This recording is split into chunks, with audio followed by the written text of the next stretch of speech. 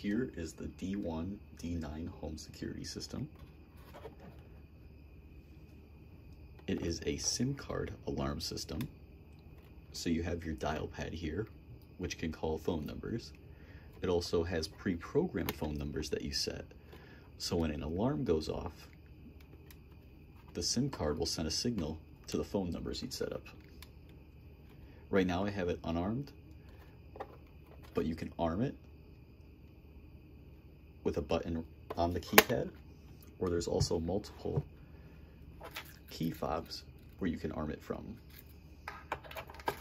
Arming it allows the sensors to tell the main security hub when one of them has been breached, either when a door has been opened or a window with this sensor.